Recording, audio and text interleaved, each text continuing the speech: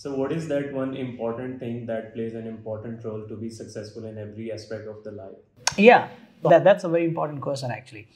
I would like to answer it. There are so many things out there. If you want to be a successful person in life, not just a successful person, if you want to be a successful businessman or if you want to be a successful teacher, successful entrepreneur, or whatever you want to be, there is only one thing that you need to take care of, and that is your mind has to be stronger than your feelings if you want to sit on a driving seat of your life, then you cannot allow someone or something else control your feelings, control your mood.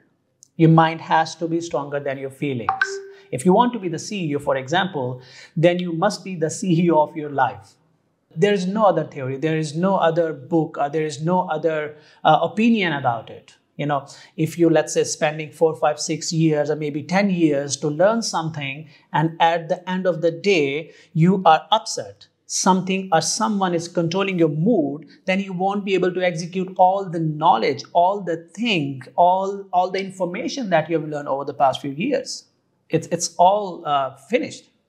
And it is not something that will come out of uh, some book or maybe uh, some uh, medicine or something like this you will have to practice it. You will have to learn it. You will you will have to talk to yourself that you know whether you are getting upset uh, by something or someone how you are coming back every time something is you know uh, pressing you something is pushing you something is kind of disturbing you you have to talk to yourself and you have to tell yourself that your mind must be stronger than your feelings you always you know keep an eye on your end goal end goal. What you're going to achieve what will happen if you achieve it. Just imagine just envision that.